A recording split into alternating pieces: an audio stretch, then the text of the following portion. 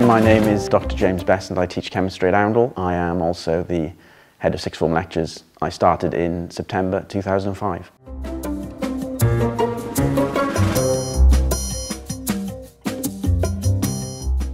There's nothing better than teaching a lower six or upper six set chemistry, but equally, like today, I'll be teaching second form set chemistry, and you know the enthusiasm in the younger years here, especially first and second form when they're 11 and 12, is just you know they bounding with energy.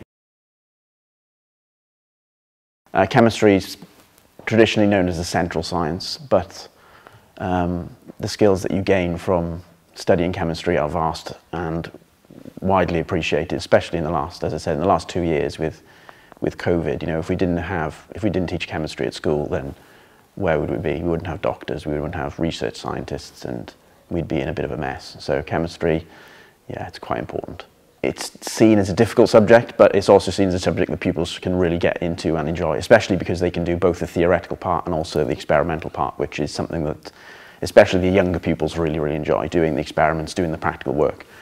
Um, and then as they go up through the school, learning more and more difficult subject, it becomes a more and more difficult subject, but also a subject that pupils really get their teeth into.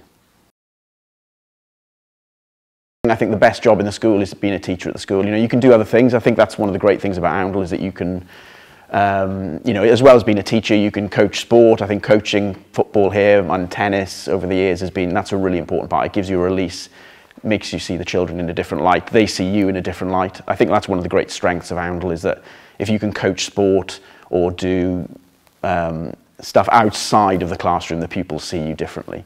So coaching sport has been a great thing for me. I really enjoy doing that.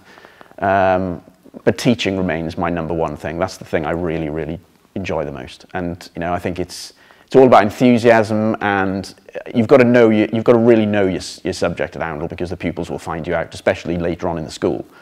Um, so enthusiasm is key.